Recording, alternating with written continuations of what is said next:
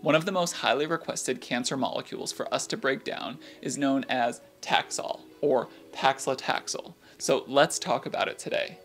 Taxol is FDA approved for ovarian, lung, and breast cancers, and it works by interfering with microtubule formation.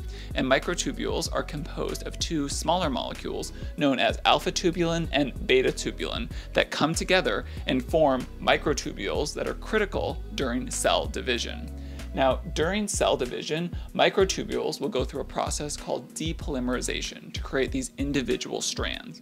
And those individual strands are critical in order to bind to our chromosomes and pull them into the corresponding cell. And that's because during cell division, our chromosomes will actually double in order to be split into two separate cells, allowing each cell to now have the correct number of chromosomes. And this process can be sped up in some cancers as cell division is growing faster, leading to more microtubules being needed to keep pulling chromosomes into their corresponding cell.